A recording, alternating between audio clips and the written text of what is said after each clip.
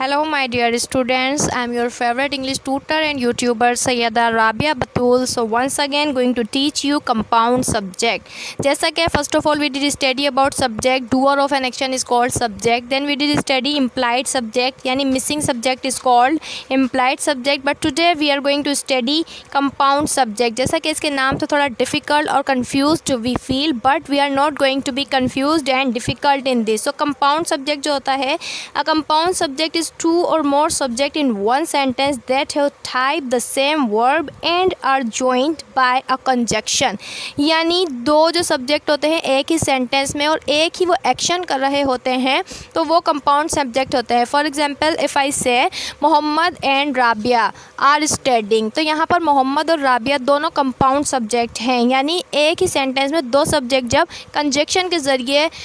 add हो जाते हैं, जमा हो जाते हैं so that is called compound subject